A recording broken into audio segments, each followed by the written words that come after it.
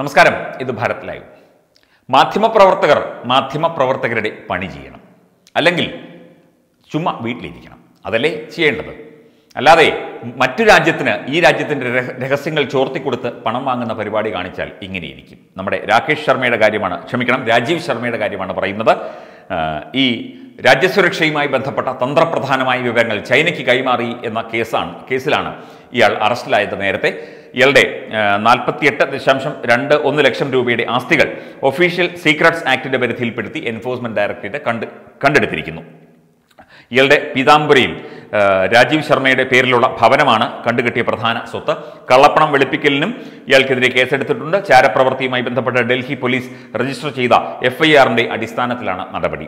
Chinese രഹസ്യാന്വേഷണ ഉദ്യോഗസ്ഥരിൽ നിന്ന് പ്രതിഫലം പറ്റി രഹസ്യവും തന്ത്രപ്രധാനവുമായ വിവരങ്ങൾ ഫ്രീലാൻസ് ജേർണലിസ്റ്റായ രാജീവ് ശർമ്മ കൈമാറി എന്നാണ് കണ്ടെത്തിയിരിക്കുന്നത്. അതുപോലെ തന്നെ രാജീവ് ശർമ്മയെ പോലുള്ളവർക്ക് പ്രതിഫലം നൽകുന്നതിന് ചൈനീസ് രഹസ്യാന്വേഷണ ഏജൻസികൾക്ക് ഈ കമ്പനി ഒരു മാർഗമായി പ്രവർത്തിക്കുകയായിരുന്നു. ഒരു വ്യാജ കമ്പനി വഴിയാണ് ഇതൊക്കെ നടന്നത്. അതിന്റെ വിശദാംശങ്ങൾ നമ്മൾ ഇതിനു മുൻപ് ചർച്ച ചെയ്തതുമാണ്. ഇനി അടുത്തത് അറസ്റ്റ് ചെയ്യേണ്ടത് എസ് ആർ പി ആണ്. എസ് രാമചന്ദ്രൻ പിള്ളയാണ്. എസ് ആർ പി ചൈനയെ അങ്ങ് അനുകൂലിച്ചുകൊണ്ട് നമ്മൾ കണ്ടതാണ് കഴിഞ്ഞ ദിവസം. ചൈന എന്ന് പറഞ്ഞാൽ മധുര മനോജ്ഞ ചൈനയായി ചങ്കിലെ ചൈനയായി എന്താണ്?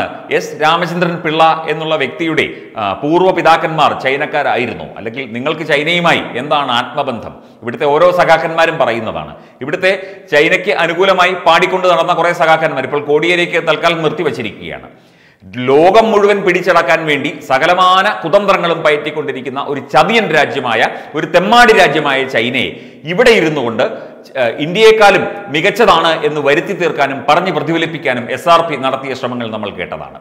പലരും ചോദിച്ചു അങ്ങയുടെ പിതാവ് ചൈനീസ് ആണോ ഇദ്ദേഹം പതിനഞ്ച് വയസ്സ് വരെ ആർ എസ് എസ് പ്രവർത്തകനായിരുന്നു എന്നൊക്കെ ഇദ്ദേഹം ഇതിനു മുൻപ് പറഞ്ഞത് വലിയ വിവാദമായിട്ടുണ്ട്.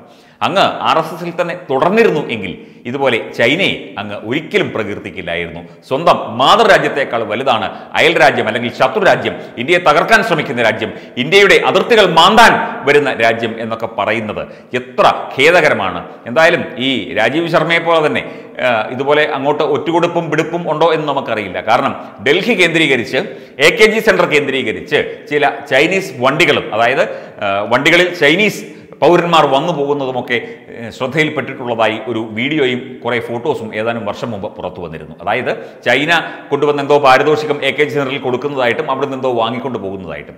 ഇയാളൊക്കെ ചിലപ്പോൾ എന്തെങ്കിലും രഹസ്യം എവിടുന്നെങ്കിലും ഒക്കെ ചോർത്തി കൊടുക്കുകയായിരിക്കും ഈ കടൽക്കിഴവനൊക്കെ ചെയ്യുന്നത്. എന്തായാലും കൊള്ളാം. ഹ്, മധുര മനോജ്ഞ ചൈനയും ചങ്കിലെ ചൈനയും ഒക്കെ. ഇതൊക്കെ ചതിയൻ ചൈന മാത്രമാണെന്ന് ഇവർക്ക് അറിയാഞ്ഞിട്ടല്ല അവർക്ക് ഇങ്ങനെ പറയാനേ അറിയൂ. കാരണം രാജ്യം നശിക്കണം രാജ്യദ്രോഹ നടപടികൾ ഈ രാജ്യത്തുണ്ടാകണം എന്ന് ആഗ്രഹിക്കുന്നവരാണ് ഇവിടുത്തെ ഈ നെറികെട്ട കമ്മ്യൂണിസ്റ്റ് സൈദ്ധാന്തികന്മാർ.